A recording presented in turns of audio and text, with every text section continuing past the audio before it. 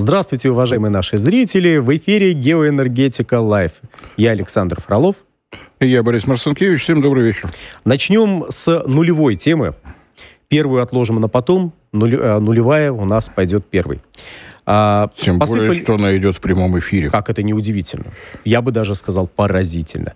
А тема следующая. Посыпались новости о том, что Соединенные Штаты Америки, несмотря на то, что отчитались о прекрасно сработавших мерах по снижению цены бензина, что бензин дешевеет, что все замечательно, голосуйте за Байдена на выборах 2024 года, как бы, э, как бы такой вот э, красной строкой, но, но так сноской идет под, э, под подобного рода сообщениями мысль. Э, так вот, Несмотря на то, что цены на бензин вроде как снижаются, вроде как все хорошо, все замечательно, президент молодец, команда его тоже молодец, такой один коллективный, но решили тут в Соединенных Штатах 31 мая проголосовать НОПЕК. Борис, что же это за зверь такой? А этому зверю немало лет. Это законодательный акт, который должен э, приостановить деятельность э, ОПЕК, то есть Организации стран поставщиков нефти, поскольку решили зафиксировать, что это картель, картельный сговор, а с ним нужно бороться. Планы Я... о, о том, что пора начать борьбу, появились, по-моему, лет 20 назад, если не больше. Периодически о них вспоминают, забывают, вытаскивают, отряхивают от пыли. Сейчас еще раз решили вытащить. Самое удивительное, дорогие наши зрители, что Обычно эти планы э, достают с дальней полки и пыль с них отряхивают, когда цены на нефть перешагивают отметку в 100 долларов. Это, видимо, так, так сказать, звоночек звенит специальный, вот, э, лампочка загорается, и, о, все, надо доставать эту папку. А здесь вроде как 100 долларов нету. Или мы чего-то не знаем. Вот сидим сейчас здесь, общаемся, а может быть где-то в Соединенных Штатах нефть уже стоит 100 долларов. Нет, смех смехом, но э, последний раз э, крупную попытку предпринять вот такой вот антиопековский э, закон Соединенные Штаты э, предпринимали году в 2007-2008 как раз когда, шла, э, когда шло резкое удорожание всех углеводородов, ну, включая нефть, и в прошлом году на фоне цен порядка 120-125 долларов они тоже что-то как-то вспомнили и начали говорить, не, ну, ну, это, ну это не порядок, это не порядок, что это такое? Нефть должна вообще бесплатно раздаваться, а не вот это вот все. А, да, кстати, американские производители добывайте побольше, а нефть должна быть бесплатна, а производители побольше добывайте. Парадокс. Как это может быть? Ну, видимо, в умах американских законодателей как-то это должно сочетаться. Вот, так, так что, дорогие друзья, я так понимаю, что это перед заседанием ОПЕК+, плюс как раз пытаются подложить. На самом деле, событий, которые грядут, э, много. В очередной раз борьба э, с призраком банкротства Соединенных Штатов тоже на повестке дня. Вроде бы они уже договорились, но это ежегодные торги, кто что сумеет себе выторговать, чтобы избежать банкротства. Ну и на самом деле действительно предстоит встреча министров стран, подписавших соглашение ОПЕК+, плюс очная, после достаточно долгого перерыва, значит, переговоры будут серьезными, значит, не исключены какие-то решения, которые могут оказать влияние на мировой рынок нефти. Боже мой, неужели Соединенные Штаты Америки, этот град сияющий град на холме, а царство свободы, демократии и э, построенная на римском праве законодательная система, неужели они могут, они могут пытаться давить на производителей какого-то товара, принимающих какое-то решение, которое им не нравится? Я отказываюсь в это верить. Как так можно? Они делают это регулярно. Могу напомнить, что в 22 году, когда был изобретен пятый пакет санкций, в котором предусматривалась эмбарго на поставки нефти, нефтепродуктов из России. Расчет был на то, что Россия настолько обидится, что вообще всю нефть снимет с мирового рынка для того, чтобы не произошло скачка цен, начался бесконечный хадж европейских политиков на Ближний Восток. Я думаю, что если попытаться сосчитать, сколько за прошлое лето визитеров было в странах ОПЕК, и прежде всего в Саудовской Аравии, со счета точно собьемся. Они приезжали, сулили какие-то блага, на конкретный вопрос арабских руководителей, а какие блага, списочек дайте? А, нет у нас никаких благов. Давайте вы будете просто добывать больше нефти. Результат, естественно, оказался отрицательным. Никому в такие игры играть не хочется. Если в Европе, в Соединенных Штатах кто-то считал, что идет их священная борьба с Россией, то производители нефти придерживались другого мнения. Это рынок покупателей пытается диктовать свою железную воду производителям и поставщикам. Разумеется, если бы удалось победить Россию, это означало для любой другой страны риск, что маневр будет повторен против кого угодно. Поэтому ответ был отрицательным. Сейчас вот они опять волнуются, потому что выясняется, что влияние на страны Ближнего Востока, прежде всего, основного поставщика нефти в Европу нынче, просто нет. Это Просто предложить Это нечего. недопустимо. Это недопустимо, значит... То есть, если кончились пряники, берем кнут. Или если пряники зачерствели, берем и бьем пряниками. Вот, понятно. А, мы, собственно говоря, почему решили это проговорить? Потому как э, действительно приближается, приближаются не только голосование вот в Соединенных Штатах, которое дало нам повод э, пару слов сказать, но и приближается встреча в рамках ОПЕК+. И по удивительному совпадению тут же пошли новости не только из Соединенных Штатов. Мы сейчас проголосуем, и вам будет плохо. Но и пошли всякие новости в стиле, а вы знаете, э, между Саудовской Аравией и Россией огромной, э, огромные проблемы. А Саудовская Аравия очень Россией недовольна. Да-да-да, и вообще в ОПЕК плюс полный разлад. Мы э, по, по сообщениям наших источников, мы вот это узнали, и вот теперь доносим до вас. Удивительно. Я бы, вот если был вредным человеком, я бы подумал, я бы подумал, что это попытка информационного давления в преддверии вот каких-то непопулярных в США и Европе решений, которые могут принять в рамках ОПЕК+. Но наверняка это просто совпадение, не так ли? Ну, таких заявлений вот замечательный заголовок в одном из изданий Всемирного информационного агентства ОБС один Блумберг сказал. Э, Китай предпочитает туркменский газ российскому. Это намек на то, что э, Китай не хочет строить магистральный газопровод «Сила Сибири-2». Э, ему намного важнее, интереснее построить четвертую нитку магистрального газопровода Центральная Азия, Китай. Но наиболее такая вот удачная, на мой взгляд, реплика – это проект строительства железной дороги Китай, Киргизия, Узбекистан в обход России – мы, кстати, обсуждали в прошлый раз. Можно пересмотреть замечательный выпуск. Получилось очень весело и задорно. Так что я думаю, вот таких пугалок ну, везде противоречия, все недовольны Россией. Отвратительно, да, да, да. Все, все, с ней, все с нами разорвали взаимоотношения. Ну, просто так совпадает, что... Очередь переговоры... желающих вступить в БРИКС пошла уже на третий десяток. Ну... Так, Борис, прекратите. Все понятно, это кремлевская пропаганда. Очереди нет, ничего нет, БРИКСа не существует. Все недовольны. Да. А, всем, кто нам в чате передает привет, мы также передаем привет. Э, есть у нас чат, есть QR-код, по которому можно отправлять нам сообщения, вопросы и все такое прочее. Можете воспользоваться. Нам комментируют, что в США дизель упал. Да, но вот вы говорите, сократилось, сократилось количество фур. Ну, а вот Минэнерго Соединенных Штатов говорит о том, что вот сейчас цены на бензин снизились, значит, количество, э, количество поездок увеличится в 6, э, на 6%. Так что все хорошо. Ну, я думаю, мы с этой милой американской темы, закон, темой закончим. Мы фактически проанонсировали основную тему, которую видимо, будем обсуждать на следующей неделе. Как раз ОПЕК плюс приближается, и вообще на нефтяном рынке становится интересно. Но тему бензина мы не бросим. Но не бензи... бензина не абы какого, а российского бензина. Нашего родного. Нашего родного, исконно-посконного бензина. А, как вы помните, а, как краткое содержание предыдущих серий. В конце апреля появились новости о том, что из-за изменений системы налогообложения может произойти нехорошее на рынке на рынке моторных топлив Российской Федерации. А именно, бензин подорожает, и его будет мало. То есть его, может быть, прям вывезут, может быть, просто будут меньше производить. Главное, так или иначе, его будет мало. А на этом фоне удивительное совпадение, но перешли к росту, перешли к росту биржевые котировки на Санкт-Петербургской международной товарно-сырьевой бирже. Притом основной рост пришелся на сегмент АИ-95 нашего замечательного, автомоб... Э, нашего замечательного автобензина исследовательского. Вот.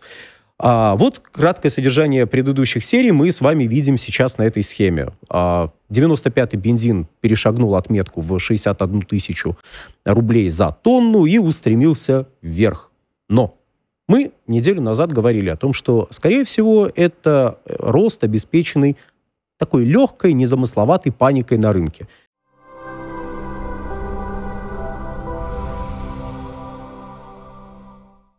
Друзья, в очередной раз напоминаю о том, что полное название нашего канала – независимый аналитический онлайн-журнал «Геоэнергетика инфо». И слово «независимость» после того, как была отключена монетизация со стороны Ютуба, для нас стало дорогим, ценным, близким. А, для того, чтобы сохранять независимость, вы прекрасно понимаете, что в наше тревожное время необходимо прежде всего альтернатива, поиск спонсора, который будет задавать нашу новостную повестку, нашу, так скажем, стратегию и тактику, нам э, кажется не самым удобным. Поэтому э, напоминаю о том, что нас можно видеть прежде всего в нашем телеграм-канале, где мы стараемся сообщать все новости, касающиеся нашей работы, наших новых проектов. Вы нас можете видеть на портале ВКонтакте, вы нас можете видеть в Зене, вы нас э, можете поддерживать за счет того, что у нас имеется страница на спонсор.ру. Все это будет в описании под этим моим кратким вступлением с напоминанием о том, что если вы хотите, чтобы проект «Геоэнергетика инфо» продолжал развиваться, нам необходима ваша помощь и поддержка. Большое спасибо за внимание.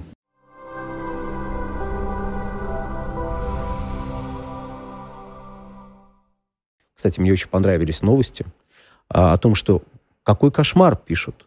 Вы представляете, товарного бензина вывезли, и, точнее, вывезут в, марте, э, в мае 330 а, тысяч тонн. Вы представляете, какой кошмар? Для понимания, 330 а, тысяч тонн, это ну, много или мало? Я понимаю, что, а, скорее всего, какой-то системы, э, должна быть какая-то система отсчета.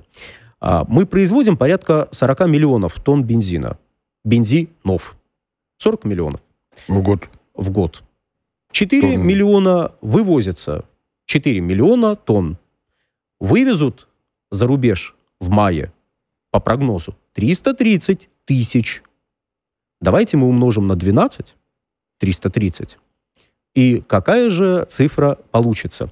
Вот, я предлагаю всем посчитать и прикинуть, настолько ли ужасна эта величина. Но, тем не менее, на фоне вот этого подорожания пошли такие новости, которые удивительным образом били в струю ай-яй-яй, бензин вывозится, его не будет, все будет плохо. Хватает чемодан, вокзал уходит. Да. А что же произошло в конце недели? Давайте посмотрим, как закончилась текущая неделя. Ворочались слухи о том, что запретят экспорт всем а поголовно. Мы сейчас, мы, сейчас, мы, сейчас, ну, мы сейчас упомянем. Давайте мы следующую схему посмотрим, и на ней будет, будет прям неприятно. Ой. Ой-ой.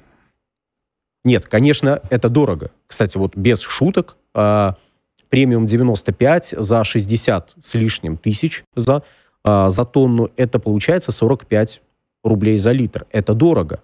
Но рекорды закончились, по крайней мере, на данный момент. Понятно, что мы еще будем следить, следить за изменением ситуации, но вполне возможно, что паника завершилась, и сейчас и сейчас цены сократятся. Кстати, опережающими темпами они сокращались в других сегментах, которые тоже, тоже решили слегка подрасти. В первую очередь, конечно, в сегменте 92-го бензина. Вот, и так уж получается, так уж получается, дорогие друзья, что, видимо, люди попаниковали, попаниковали, и как бы все. Но, но, нельзя же бросить эту замечательную тему. Просто сказать, ну все, ну, ну закончилось. Нет. В течение этой недели нас огорошило агентство Reuters, к которому мы, кстати, сегодня еще вернемся. Так вот, но агентство Reuters, давайте будет цитату. Вот, вот глянем замечательного агентства Reuters. Что же оно нам написало-то? Вот. Россия рассматривает возможность запрета экспорта бензина, сообщают источники обожаю источники, при том, что, ну, действительно, могут быть какие-то представители компании, которые говорят, ребят, ребят, на меня ссылаться не надо, но вот будет так-то, так-то. Тогда пишут источник, ну вот, чтобы человека не подставлять, но информация проверенная. Но иногда так можно вообще любую информацию давать. Что самое интересное, подобного рода сообщения каждый раз происходят, когда на российском рынке возникает вот такая вот э, неприятность с биржевыми котировками. То есть если вдруг они по какой-то причине, и неважно по какой, начинают бить рекорды, тут же говорят, а давайте, наверное, вот знаете, вот правительство запретит экспорт. Ну, потому что, ну, а мы производим 40 миллионов тонн, вывозим 4 миллиона тонн, давайте экспорт запретим. Ну, потому что это поможет, ну, очевидно же. Очевидная помощь, потому что 10% этих сразу решат все проблемы. Что самое интересное, последний раз я помню, в конце лета 2021 года такого рода сообщения были, и тогда, и тогда э, делались оговорки, кстати, вполне разумные, что ну, мы, может быть, запретим экспорт, если, э, если только мы не будем учитывать направление в рамках Евразийского, Евразийского экономического союза. Ну, то есть большая часть экспорта сохранится, а меньшая часть будет запрещена. И говорили это в конце сезона высокого спроса на АИ-95. Удобно. Я думаю, что вот эти бесконечные сообщения от УБС, какие они только не бывают. И, по-моему, только биржу у нас еще не закрывали, все остальное было. Экспорт запрещали, налоги меняли, все менялось, но э, на самом деле вот то, что мы видели на графике, ну, нельзя назвать это падением, это больше похоже на фиксацию, что будет дальше. Но очевидно, что первая волна паники прошла, пока слухи о том, что будет э, меняться система исчисления демпфера остались слухами. Инициатива со стороны Министерства финансов была, но пока она до э, Государственной Думы не дошла, а с учетом того, что не за горами летние каникулы, может вообще не добраться. Так что есть большая надежда, что, ну, да, высоковато, но зафиксировались. И напоминаю, что у нас э, в России по-прежнему два совершенно разных рынка. Все, что происходит на бирже, рост цен, падение цен, практически никак не сказывается на тех ценах, которые мы видим на наших автозаправках. Так сложилось. Так выглядит наша налоговая система. Ну, ничего с этим не сделаешь. Ну, кстати, Министерство энергетики, в общем-то, на эти сообщения отреагировало. Давайте вот посмотрим, что, ну, я понимаю, не столь авторитетный источник, как источник, в кавычках, а просто министр энергетики Российской Федерации, что по этому поводу высказал, э, высказал как высказался, да, в последнее время наблюдали рост цен на, мотор, на моторное, моторное топливо на бирже, но в последнюю неделю этот рост сократился. И слово «запрет» мы не упоминаем, мы говорим об, э, про ограничения. Ну, какого рода ограничения, опять же, раскрыто не было. Э, может быть, это был тонкий намек на какие-то толстые обстоятельства, но, с другой стороны, опять же, никаких ограничений пока что также не вводили. Возможно, под ограничениями имели в виду коррекцию, там просто упоминался еще и ФАС, Э, коррекцию тех объемов, которые должны из производимую, из производимого моторного топлива отправляться поставщиками, ну, производителями, отправляться на биржу. Ну, вот. Там, правда, и так присутствует больше, чем требуется. Ну, может быть, вот как это, опять же, периодически бывает в таких ситуациях, э, эту долю также увеличат. То есть у нас стандартная, стандартная реакция, как правило, идет на такого рода сообщения. Реакция первая увеличить долю бензина, который производится в стране, которая должна поставляться от производимой в стране, которая должна поставляться на биржу. Сейчас это 12%, ну, при желании можно увеличить там 15%. Сейчас говорят а, именно о 15. Ну вот. То есть это, это, этот показатель можно корректировать. И, в принципе, да, если вам не хватает, действительно, то есть у вас какие-то изменения из-за нехватки предложения происходят, ну, пожалуйста, вы увеличиваете предложение на бирже, что происходит с ценами? Они приходят в норму. Вот. А если причины в чем-то другом, ну, значит, нужно работать с этими причинами, а не распускать слухи о том, что ой, сейчас, сейчас, сейчас экспорт запретят, и вот, вот тогда все получится. Вот. Нам тут предлагают, э, нам тут задают вопрос, синтетическая нефть, дизель из газа или угля не может вытеснить российскую нефть в Европе? Дорогие друзья, российской нефти в Европе практически нет. И российских нефтепродуктов тоже. За рядом крайне ограниченных исключений. Но сами по себе эти синтетические заменители заменить не могут, они просто дороже. Но при желании можно сделать, если у вас вообще нет. Не, ну так называемая технология GTL, э, Gas to Liquid, э, да, она есть, уже несколько заводов построено, в том числе э, достаточно крупные в Узбекистане, но там причины другие. У Узбекистана мало месторождения нефти, ей нужно удерживать стабильность на рынке моторных топлив, они делают то, что выгодно Узбекистану. А России это точно не надо, если ну, в Европе может происходить все, что угодно. Она это убедительно доказала. Специально такой полуостров, который немножечко сошел с ума, поэтому могут делать все, что угодно. Производить бензин можно вообще из самых разных веществ. Ну, если уж на то пошло, а, некоторые европейцы были бы даже рады, если бы такая система заработала, то есть производство э, таких синтетических топлив. Вот. Сейчас обсуждалась тема про электрическое топливо. Это топливо как раз вот произведенная э, благодаря великим Фишеру и Тропшу, э, произведенная с участием возобновляемых источников энергии, которые вам дают водород. В общем, берем зеленый водород, э, делаем синтез газа, и синтез газа делаем необходимое вам углеводородное сырье, и радостно этим углеводородным сырьем заправляем автомобиль с двигателем внутреннего сгорания. Такие схемы сейчас предлагались, обсуждались, но на сегодняшний день в качестве какого-то решения, которое бы решение массового характера, оно не рассматривается никем. Но некоторые выступают за него. Ну, не исключено, что будет э, наращиваться поддержка, потому что среди европейских политиков появилось новое течение, необходимо в срочном порядке забить весь крупный рогатый скот, поскольку выделяет метан, О. это ужасно. Я думаю, что сельхозпроизводители будут поддерживать технологию GTL. Может быть, хотя бы так удастся коров не, не пустить под нож. Не, нет, они просто все э, комбайны, все сеялки, веялки переведут на электричество. Ну, вот. Притом такой прям вот вилку в розетку будут втыкать, и брум бам бам бам и поехали. Нет, смех смехом, но такие схемы действительно обсуждались, такое, такие предложения были, но они пока даже вот они даже не могут поколебать уверенности европейских лидеров в том, что все должно быть электрифицировано. А вопрос, который нам пришел последним э, после текста на иврите, извините, мы, мы не владеем. Так что ответить на вопрос, э, как прикажете это понимать, не можем. Или вы имеете в виду как? Ну, вбейте в, э, вбейте в онлайн-переводчик, может, вам переведет, и вы, и вы сможете это понять. Ну, давайте вот такие вопросы нам не отправлять. Вот про энергетику, пожалуйста, мы легко можем вот взять и проговорить. А, за Эрдогана у нас тут переживают. Точнее, что якобы он вот победил. Дорогие друзья, мы тоже с интересом следим. Вот сейчас мы Сейчас мы немножечко про другое.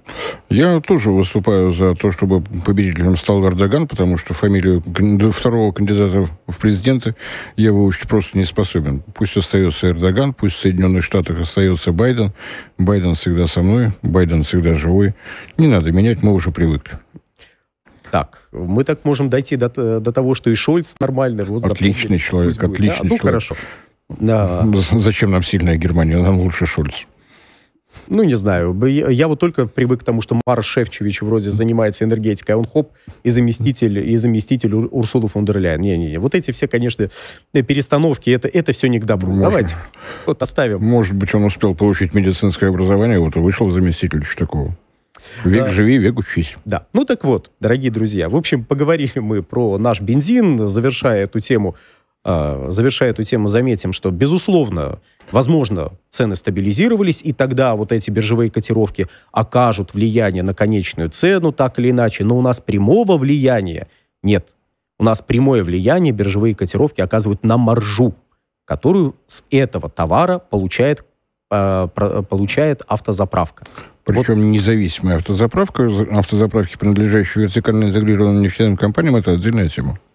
Э, вот. И мы к ней обязательно вернемся в следующий раз, а сейчас, так как есть еще... Я только на дорожку хочу заметить, вот то, что мы стали волноваться по поводу стоимости э, премиального бензина 95, э, отнюдь не говорит о том, что у нас стал стареть автопарк. Он, напротив, молодеет, поэтому, собственно говоря, растет спрос на 95-й бензин. А, тут, ну, если, если вдаваться в подробности, то мы еще можем сказать, что частично у нас 95-й бензин как таковой, как товар, э, имеет два измерения. Это просто 95-й бензин ординарный и всякие премиальные брендированные тип э, брендированные марки 95-го бензина там с некими дополнительными присадками, обеспечивающими там моющие свойства и так далее и тому подобное, которые тоже занимают значительную часть рынка. И вот на их ценообразование, вот эта вся история, она тоже влияет постольку, поскольку они живут вот в отдельном мире. Опять же, так как мы про бензин стали говорить чаще, я думаю, эту тему мы тоже в следующий раз как-нибудь затронем. Тем более, что... Тем более начнется лето, период высокого спроса, так что... Да, так что все поедут, посмотрим, что там будет с 95-м, сотым бензином, опять же, вот. Не будем забывать, что у нас есть премиальный-премиальный прям бензин, сотый. Ну вот. Вот, люди у нас э, пишут, что проголосовали за Эрдогана на госуслугах. Правильно, молодцы. Да вот. Я надеюсь, все наши зрители поступили так же, прямо с утра. Вот. А теперь пере, э, буду, будем надеяться, правда, что на Дальнем Востоке так не делали, Иначе это будет выглядеть странно. На Дальнем Востоке у нас утро начинается чуть раньше, чем в Турции, поэтому будьте внимательны. Я а, думаю, что это пишут наши турецкие зрители, у нас же их много. Да, а, на, а в Турции, как известно, очень много госуслуг. Так вот, э, возвращаемся в Европу. Ну, раз уж мы тем более Европу так немножечко затронули. Опять же, обсуждаем новости, новости поражают воображение. Э, а именно, какие же заголовки нас поразили и заставили вновь посмотреть на этот самый европейский спрос? Давайте вот посмотрим на эти заголовки. В этот раз про газ. Да, про газ, конечно же. Все, вот жидкие углеводороды мы пока отложили в сторону. Можем, да, вот. Еврокомиссия в 2023 году ожидает сокращения спроса на газ в Евросоюзе на 60 миллиардов кубических метров.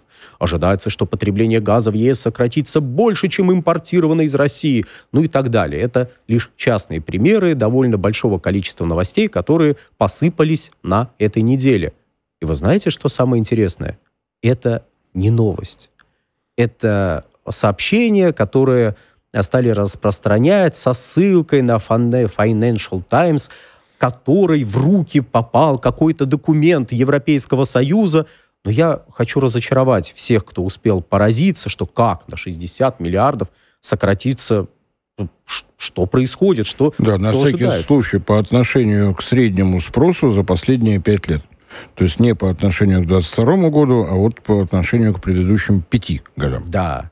То есть на самом деле перед нами, ну, я понимаю, Financial Times, а, их источники, да, источники прокрались куда-то в Европейский Союз или их источники из Еврокомиссии прислали, так никому не показывать документ. Дорогие друзья, вот, вот разочарую, разочаровываем это не новость по той простой причине, что речь идет о плане Европейского Союза, который реализуется с 1 августа 2022 года по 31 марта 2023 года, который был продлен в конце марта до 31 марта 2024 года. Только и всего. И у меня только одно замечание. То есть, да, это не означает, что спрос на газ не будет падать, что он не будет расти. Нет. Это просто означает, что вот достигнутый к настоящему моменту показатель, он примерно равен сокращению на 60 миллиардов кубических метров относительно вот этого среднего значения за последние 5 лет. Они от него отталкиваются, только и всего. В общем, э, надо отдать должное, что вот люди в Еврокомиссии очень много слов тратят на то, что мы сэкономим, мы планируем, мы, мы еще... А вот был один политический деятель совершенно потрясающий, дай бог ему здоровьечка, а, лишь бы цирроз его не покарал. Он э, вот все это вывел вообще в одно слово. Прикрути. О, кстати. Да, кстати, где он, да. А, кстати, все кстати, намного где проще. Он и как, все как намного проще, потому что происходит ровно то же самое. Идет акция под кратким названием «Прикрути». У нас падает спрос не потому, что мы э, стали энергоэффективны, да, давайте что-то, что исправилось. Союзе посмотрим. Давайте глянем, как это выглядит. Да. Ну, вот, вот там точка под названием «Прикрути». То есть на самом деле падает спрос. И какое отношение к этому падению спроса имеет Еврокомиссия, ну, со, как со стороны не пытаясь разобраться, да никакого. Они видят эту тенденцию, что сокращается э, объем спроса прежде всего в производственном секторе. Сколько э, в, Евро, в Евросоюзе пострадало, мы уже устали перечислять. Это и металлурги, и химики, и производство цемента, керамики, стекла, бумаги и так далее, и так далее. Начался процесс переезда предприятий, порядка 90% из тех, кто намерен переезжать, намерены переводить производство в Соединенные Штаты, 10% в Китай. Ну, это они так говорят. Говорят. Ну, а там мало ли. Да, то есть это результат опросов среди, среди бизнеса европейского. Это не мы тут придумываем. Мы как бы говорили о том, что это может произойти, и что какие-то тенденции есть, а тут европейцы решили, слушайте, а может мы спросим, как бы, мы же тут сидим, давайте вот зададим вопросы этим бизнесменам. Задали вопросы, и было неприятно в ближайшие два года они говорят, ребят, вы знаете, вот все, конечно, хорошо, да-да, цены снизились, да, спасибо, тарифы пересматриваете в сторону понижения, но они, как, когда вот они были пониже, они были очень высокими. До кризиса, например, Германия платила, ну, потребители в Германии платили за электрическую энергию самые высокие цены на планете Земля, то есть вообще вот самые высокие. Ну, ну, зато у них были самые солнечные турбины и самые ветряные панели. О, это да, кстати, да, не будем забывать, да. А, мне очень нравится, как э, часть нашей широкой аудитории очень любит восхищаться новостями о том, что вы представляете. В Европе, я новость читал, цены на электрическую энергию стали отрицательными. Боже мой, вот нам бы так. То, что это биржевые торги в какой-то момент времени, во время избытка предложения, и производители это не рад, это не важно. Ой, нам бы так. Ну да, если нам бы так, то и цены самые высокие на планете Земля тоже должны быть. Ну, на самом деле, это не радость, это такой достаточно серьезный признак наступающей дестабилизации в объединенной энергосистеме. Что значит отрицательная цена? Нет спроса. Мало того, Центральное диспетчерское управление, неважно, как оно называют, как он называется в той или иной стране, просто не в силах остановить э, процесс генерации. Если некуда девать электроэнергию, значит, часть э, электростанций должны остановить производство. Но, видимо, так, таким было количество всевозможных, всевозможных льгот, преференций и прочего-прочего в адрес той самой зеленой энергетики, что у Центрального диспетчерского управления просто нет полномочий на то, чтобы прекратить вот это. А, ну... Больше того, это означает, что электросетевое хозяйство не в силах справиться с перераспределением энергии в энергодефицитные районы. Нет возможности отправить туда, где электроэнергии в конкретный момент не хватает. Это значит, что э, солнечные ветряные электростанции строились без э, комплекса планирования, без э, расширения электросетевого хозяйства. То есть электростанция строится как вещь себе. Вот она красивая, она должна работать. Для чего, зачем, почему, как регулировать вот такой момент перепроизводства, будем думать потом. Ну, не, ну почему? Вот зачем? звоночек прозвенел. Почему и зачем, понятно. То есть вот, опять же, не надо, а, не надо думать, что, ну, понятно, мы тут в таком, знаете, э, слегка юмористическом стиле это обсуждаем, но не надо думать, что, ну, там, в Европе люди, принимавшие решения, они слегка нездоровы и они принимали решение, не посоветовавшись с лечащим врачом. Нет, под этим всем были определенные соображения. соображения То есть они были слегка здоровы. Хорошо. Они были слегка здоровы. Они были слегка здоровы. Вот. Когда принимались решения о развитии возобновляемых источников энергии, генерации на возобновляемых источниках энергии, Евросоюз был мировым лидером по производству оборудования. И вокруг творился мировой экономический кризис. И фактически Евросоюз пытался заместить поставки газа, которые там пророчили невероя... невероятный рост тогда пророчили, порядка 300 миллиардов кубических метров к 30 году в плюс там Евросоюз, ну то есть с Великобританией тогда еще да, потреблял 500 а, миллиардов кубов, а к 30 году должен был потреблять 800 миллиардов кубов. Ну, этот рост надо было чем-то обеспечивать, а лучше замещ... заместить, потому что это же надо где-то покупать а давайте ветряки поставим, тем более мы их производим. Давайте солнечные панели поставим, тем более мы их производим. Но то, что потом получилась какая-то ерунда, ну да, вот, вот не подумали о том, что китайцы умеют быстро строить заводы и производить оборудование не хуже, а дешевле. Вот, что другие виды генерации начнут умирать. Ну вот как-то не подумали, понимаете? Вот, вот такие невероятные профессионалы. Но под этим всем, да, была определенная логика. Другое дело, что она не сыграла. А вот тут мне вот другое интересно. Вот если сейчас происходят вот такие безобразия, связанные с возобновляемыми, источ... возобновляемыми источниками энергии, ну, то есть, поясни, поясни вот еще раз, зафиксируем, почему могут быть отрицательные цены? Ну, потому что у вас избыток предложения настолько огромный, что хотя бы за счет того, что вам, условно говоря, приплачивают, пытаются увеличить спрос, потому что не справляется ни диспетчер, не справ... ни диспетчеры не справляются ни, ни потребителей нету для такого количества электрической энергии. В выходной день звонить Гансу на пляж, чтобы он Беги, Быстренько беги домой. сбегал домой, включил утюг, поставил его на пылесос, который тоже надо включить. Ну или хотя бы электромобиль поставил на зарядку. Что ж ты так? Не, не, что ж ты Вместе так забыл с про телефоном. Него? Вместе с телефоном. А лучше электромобиль, пылесос, все включили, заработало. Но основной потребитель, обеспечивающий стабильный спрос на электрическую энергию, это промышленность. То есть она требует электрическую энергию постоянно в более или менее прогнозируемых объемах. А если у вас объемы промышленного производства скукоживаются, если промышленные предприятия, ну, если бизнесмены не наврали, и они действительно начнут так вот, вот перебираться куда-нибудь в Соединенные Штаты, в Китай, неважно куда, главное за пределы Европейского Союза. И это не значит, что вообще там не будет промышленности, но просто объем промышленного производства сократится. Как будут, как будут управлять этой замечательной энергосистемой с все еще растущим, опережающими темпами объемом производства ветровой и солнечной электроэнергии. М? И не будет ли так, не, не сложится ли такая ситуация, что уже в 20-х годах, то есть во второй половине 20-х годов, а, эта энергосистема ну, несколько столкнется с новым кризисом. Давайте вот сформулируем вот так вот, мягко.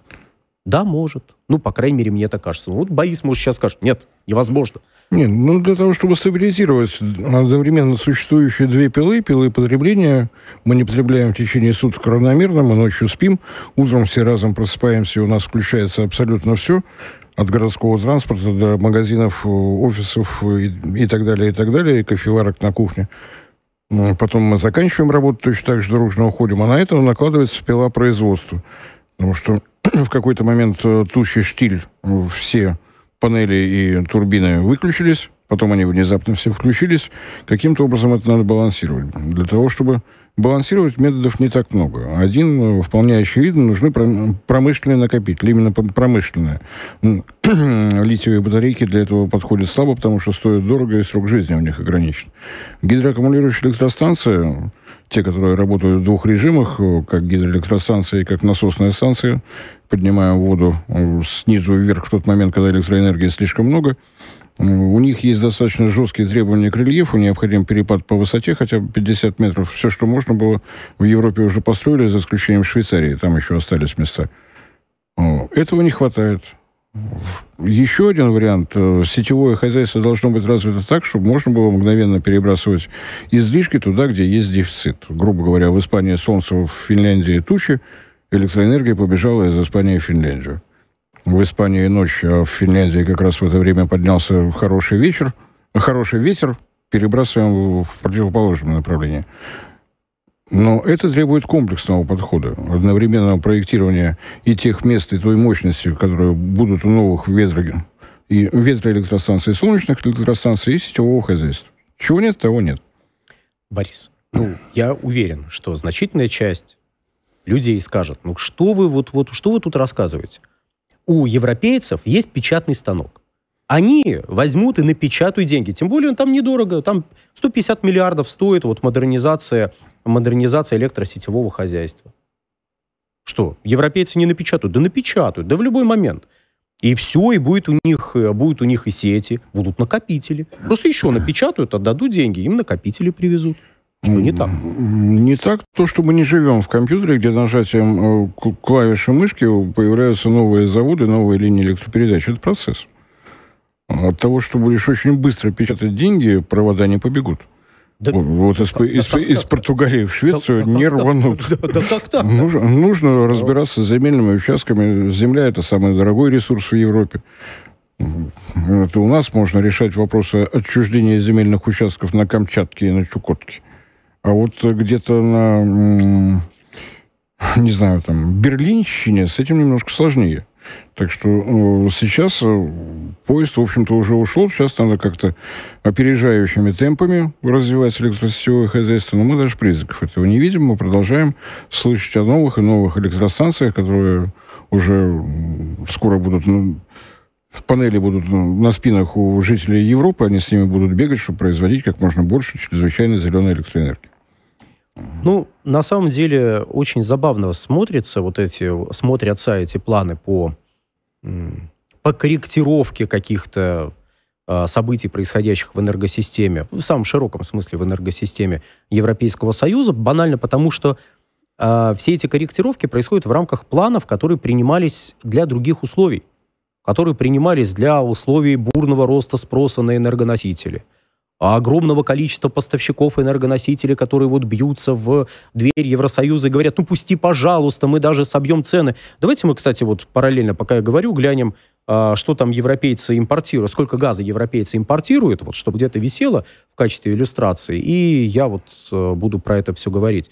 То есть а, парадокс ситуации сейчас в том, ну, лично на мой вот взгляд в отношении Европейского Союза, что они не учитывают банальную вещь. Ситуация очень сильно изменилась. С точки зрения объемов промышленного производства, с точки зрения потребностей населения, с точки зрения перспектив роста спроса на те или иные энергоносители. И вот здесь на, на графике мы видим, как изменился объем импорта в 22 году, э, в 23 году по сравнению с 22 и 21 годами. То есть, когда, опять же, Европейская комиссия говорит, да-да-да-да, вы знаете, мы вот придумали, на 60 миллиардов кубов мы сократим спрос относительно среднего показателя за прошедшие, 5, за предыдущие 5 лет. И тонкий голос Порошенко «прикрути». Прикрути. Ну, тонкий, там, тут, тон. И такой, у прикрути, прикрути, эхом раздавалось где-то. От Лиссабона до, до Варшавы. И получается, что не, не учитываются вот эти изменившиеся обстоятельства – система, которая принималась для, из других соображений, из других исходных данных, она не меняется. Ее пытаются, ее пытаются встраивать в ситуацию, которая совершенно иная по всем параметрам. То есть нигде нет совпадения, ни в потреблении энергоносителей, ни в экономическом росте, который ожидался, ни в объемах промышленного производства, ни в чем абсолютно нету совпадений но вместо того, чтобы пересмотреть, ну вот принимаются такие планы. В результате сове больно, да и глобус себя не очень хорошо чувствует. Ну, глобус можно поломать. Э, тут не ясно, кто раньше сдастся. Сова, глобус или человек, который сову на этот глобус натягивает. Мы за сову очень переживаем, поэтому, ну, если вдруг нас смотрит кто-то из руководства Евросоюза, а вы, кстати, зря нас не смотрите, мы иногда толковые вещи тут говорим. Так вот, ребята, ребята, пока не поздно, пересматривайте стратегию. Ну, либо продолжайте заниматься тем же, чем занимаетесь, рассказывая о том, что падение происходит по плану, вот план, вот план, вот падение. Ну, значит, все правильно, все хорошо. А мы гениальные управленцы. Вот. О, а инфляция, она тоже влияет на все, даже на электричество, не так ли? Есть такой момент, есть такой момент. Она тоже влияет и на электричество тоже, по крайней мере. Как и электричество на инфляцию. Вот, они все друг на друга влияют. А теперь самая шокирующая новость прошлой недели. Оставим европейцев, резко переметнемся в Азию. У нас сегодня сложная география. Китай отдает предпочтение Туркменистану перед Россией в следующем крупном трубопроводном проекте, пишет нам вышеупоминавшееся агентство Reuters.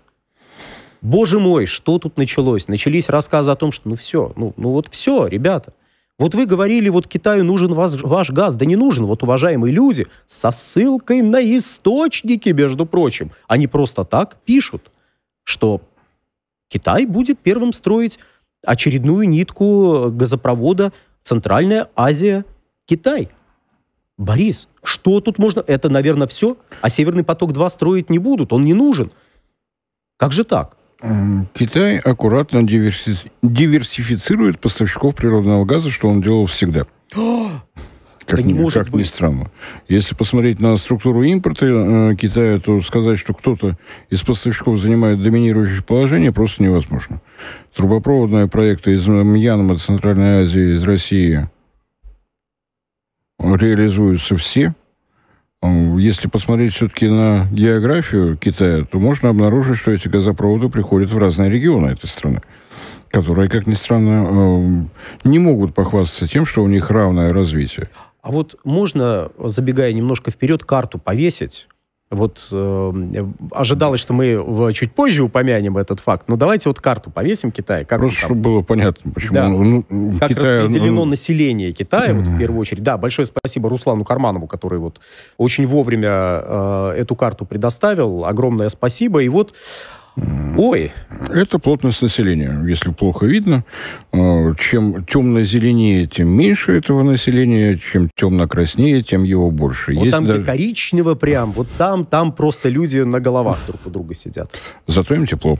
Э, там в любом случае тепло, там, в принципе, очень теплый климат. Нет, ну вот если там, где совсем зелененькое, вот при Амуре оно теплотой не отличается. Ой, ну это мы сейчас начнем. Вон люди вот, вот где теплее и где есть рабочие места, где развита промышленность, где развито потребление энергоносителей, вот там они и селятся. Это, кстати, к вопросу о том, что, ой, ну сейчас на границе, на границе России и Китая миллиарды человек стоят и ждут, как бы кинуться вот в Восточную Захват... Сибирь. Захватить Восточную Сибирь, да, Дальний Восток и все непременно Чукотку. Да-да, зайти. Люди, где вы? Смех смехом, у Китая проблемы с заселением, расселением людей на своей территории. То есть плотность э, вот там, где вот, да, где такое темно-зелененькое, она очень низкая. Ну, по китайским, можно сказать, меркам очень низкая. но это означает более низкое социальное развитие, экономическое развитие, и в эти регионы вкладываются деньги, чтобы это развитие дошло до среднекитайского уровня. Вы представляете, что вот, вот миллиард примерно человек, он живет вот туда. Юг и юго-восток, потому что там условия лучше. А Запад для них дикий, как, впрочем, и для нас. Да и север, в общем, мягко скажем, тоже не блещет. А центр страны это вообще кошмар. Воды мало, населения мало. Кошмар. Зачем нам там жить? Поедем на юга. Говорит молодежь и едет на юга. Потому что там деньги, потому что там рабочие места. Ну, центральное правительство, раз заговорили про Туркменистан, про Центральную Азию, прикладывает, на мой взгляд, максимум усилий для того, чтобы картинка изменилась. Вот эти темно-зеленые пятна стали ну, приобретать желтенький цвет. Именно отсюда вытекают новые проекты строительства дорожной, дорожных магистралей, автомобильных, железнодорожных, каких угодно. Для того, чтобы Восток, северо-восток Китая получил такое же развитие, как э, юг, э, запад и северо-запад. Именно отсюда вытекают проекты строительства новой дороги в Киргизию и в, в Узбекистан. Именно отсюда новые и новые развязки на границе с Казахстаном. И именно отсюда э, некоторое недоумение уже и от депутатов Государственной Думы, а что же с нашими погранпереходами в Китай? Проснулись, пора приводить их в порядок, оказывается, у нас растет товарооборот. А, наши зрители пишут, а в Китае где-то горы еще есть, где неудобно жить. Да не может быть, дорогие друзья. Да кто, кто бы мог подумать а? Ой, в Китае там чего только нет. Это четвертая, э, четвертая э, страна в мире по площади. После России, э, Канады, э, по-моему, Соединенных Штатов. Бразилия, по-моему. Вот, по-моему, там. Дорогие друзья, проверьте. По-моему, на третьем месте Соединенные Штаты, Борис утверждает Бразилия. Давайте проверим. Ну, на самом деле, неважно. Потому что Китай, самое главное, это огромная страна с очень разными условиями. И если у вас, а, например, газопровод «Силы Сибири» входит где-то на территорию, где-то в районе вот, вот востока страны, а газопровод... Старого промышленного центра. Да, а газопровод «Силы Сибири-2» э, собирается войти где-то на территории вот северо-востока, северо-запада страны, то это расстояние примерно равное расстоянию между Лондоном и Стамбулом. Можете ли вы сказать, что газопровод, который приходит в Лондон, ну это то же самое, ну, ну просто то же самое, что газопровод, который в районе Стамбула приходит? Нет. А почему-то, когда мы смотрим на Китай, ну, я понимаю, тут может быть еще такая российская гигантомания, потому что, ну, ну все рядом, тысяча километров, это вообще не расстояние. А там, правда, не тысяча, там немножко больше, но тоже не важно. Вот то мы, когда смотрим на Китай, мы считаем, что, ну, если здесь пришел газ, ну, ну значит, и нормально, он, он везде, его можно поставить. Нет, он сразу друзья. по всей площади равномерно да. и распределен. Нет, ну, в принципе, в принципе, про что-то такое нам еще Паскаль говорил что давление в жидкости или в газе распространяется во все стороны одновременно. Ну, да тогда вот. емкость должна быть закрыта. Так, так. А что Китай это не, не закрытая емкость? Кто бы, мог, кто бы мог подумать? Ай-яй-яй. Вот, дорогие друзья, то есть, когда мы смотрим на карту Китая, не надо обманываться. Китай огромная страна. Я понимаю, да, да, смотрим сверху Россия, забываем о том, что а, в рамках проекции, в рамках, ну, которая позволяет нам вот так вот на плоскости изображать шарик, Россия несколько больше выглядит, чем она на самом деле, но неважно. Вот смотрим на это, ну, Китай, ну что, маленький такой, вот сюда трубу ввели, и по, всей, по всему Китаю газ распределился. А, или вот с юга подвели э, терминалы для приема сжиженного природного газа, так этот сжиженный природный газ прям до северо-запада дойдет. Нет, безусловно, если поставить такую цель, может и дойдет. Но, по, но какой ценой, по какой цене он дойдет? И не проще ли организовать поставки из Центральной Азии сюда, из России туда? Потому что это просто дешевле. Ну, если говорить вот так, чтобы было понятно, что такое площадь э, Китая, удаленность одних его центров промышленных от других – в Китае с восторгом отнеслись к тому, что Владивосток стал открытым морским портом. Из Карбина выгоднее добраться до моря в Владивостоке, загрузиться на э, судно и отправиться на юг Китая. Это будет дешевле и быстрее, чем по железной дороге. А что самое интересное, это, в принципе, нормальная практика. Например, вот а, до известного конфликта между Катаром и Саудовской Аравией а, катарцы сжижали гелий, везли через Саудовскую Аравию в ОАЭ, и там грузили и отправляли. Ну, потому что, ну, вот так вот было удобней.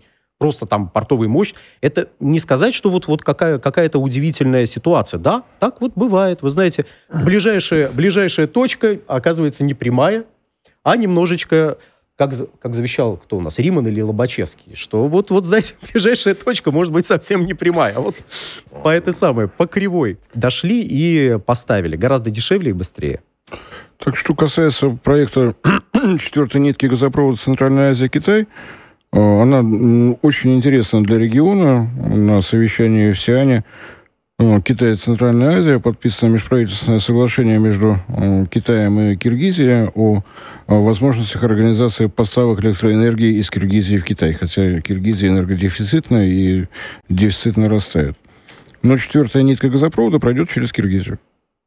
И это очень тонкий намек на то, что будут строиться газовые электростанции непосредственно в Киргизии для того, чтобы приграничные э, районы Китая получили готовую электроэнергию. А вот очень вот интересный вот проект. Все, вот это вот мы все рассказали, а ведь есть еще один момент, который, за который вообще вот зацепилась наша широкая аудитория.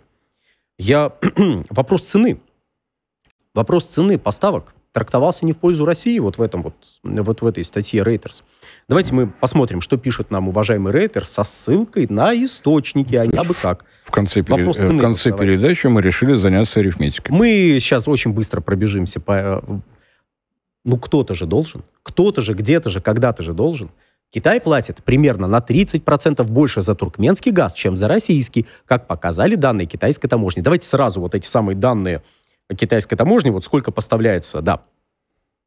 Если, дорогие друзья, вы возьмете такой сложный прибор, как э, калькулятор, или возьмете телефон, где есть программа калькулятор, и посчитаете, сколько же платили, ну, исходя из этих данных, за, природные, за тысячу кубических метров природного газа Туркмении и сколько платили России, вы узнаете страшное, что оказывается 30% это примерно 12%.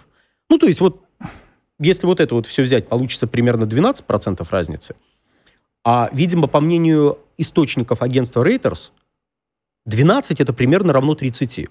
Потому что не, невозможно сказать, а почему... Да, справедливости ради. В тексте агентства Reuters а, поставки из России 16 миллиардов кубических метров, но там они написали примерно. То есть они округлили, а вот данные, которые дает наша сторона, 15,5. Я посчитал, что лучше мы про 15,5 скажем, тем более это будет честнее в отношении тех данных, которые опубликованы. Но как можно было 30% получить, вот исходя из этих данных, я лично не знаю. Профессионалы, работающие во Всемирном информационном агентстве ОБС, один Блумберг сказал, могут не такое, они все могут я, ну, я тогда аплодирую, я радуюсь. Ну, вот, знаете, арифметика, второй или третий класс, вот, пожалуйста, сложные упражнения. Когда у нас десятичные дроби? По-моему, в третьем классе, да, дорогие друзья, вот, изучает. Ну, кажется, кто-то не доучился до третьего класса и десятичные дроби не прошел. Есть геометрия Лобачевского, геометрия Римана, а есть арифметика от Рейтерса. Тадам-тадам-там. Тынс. И давайте глянем на карту газовых электростанций, раз уж на то пошло. Потому что про 12% это мы не просто так. 12% не только здесь у нас сыграют. Давайте вот э, какое количество газовых электростанций. Вот если мы посмотрим на эту карту, это анонсированные газовые электростанции. И 12% по установленной мощности от этих газовых электростанций сосредоточены в Китайской Народной Республике. И как это неудивительно, Китайская Народная Республика умеет реализовывать сразу несколько проектов. И строить газовые электростанции, и СПГ-терминалы, и прокладывать трубопроводы из Средней Азии, и прокладывать трубопроводы из Российской Федерации. А как она замечательно строит угольные электростанции, Ой. и в каких количествах у них идет строительство атомных энергоблоков, в общем, Китай заслуживает, по-моему, отдельной передачи и отнюдь не часовой. Там есть о, о чем подумать, на что посмотреть. Будем уговаривать руководство канала о спецвыпуске про Китай. А пока в качестве завершения приведем высказывание, ну, опять же, раз мы про Китай, высказывание генерального директора АО «СУЭК» Давайте приведем. Сибирско-Уральская энергетическая компания, на всякий случай. Ну, пока его выводят на экран, я так зачитаю. Если в 2022 году мы поставили в Китай свыше 7 миллионов тонн высококачественного угля, то в 2023 году в, планы СУЭК, в планах СУЭК увеличить эту цифру практически в три раза, до более чем 20 миллионов тонн. А это к вопросу об угольных электростанциях. Мы как-то касались этого вопроса в одном из прошлых выпусков, что Китай, несмотря на все уговоры, на все уговоры почему-то все еще строит угольные электростанции, видимо, не слышит тех наших экспертов, кто говорит, что ну все, уголь им больше не нужен, а вот, вот 20 миллионов тонн одного только Суэка пойдет. Давайте мы сразу глянем, а, какие компании лидируют по угледобыче, чтобы понять, а к чему это вообще СУЭК, много это, мало, кто это вообще такие. А, давайте вот выведем. Ой, а СУЭК у нас, оказывается, пятый в мире по величине а поставщик. Удивительно, поразительно. Кто бы мог подумать? Я думаю, что если все будет в порядке, он будет э, четвертым уже, а если не третьим, в самое ближайшее время, к тому времени, когда будет построен полностью порт Лавна в Мурманск, его железнодорожная обвязка, ну, есть подозрение, что эти показатели будут сильно увеличены. Портовые возможности в России тоже растут. В общем, нам на сейчас надо, самое главное, заниматься нашей логистикой. Железные дороги, порты, а, производ, а, судостроения и так далее, и так далее. Вот это наша главная сейчас проблема, ее нужно будет решать, ну а пока, ну а пока, видимо, на сегодня все. Будем надеяться, что продолжим эти темы в следующее воскресенье. Всем спасибо за внимание. Да, присоединяйтесь в 7 часов вечера по воскресеньям. Всего хорошего.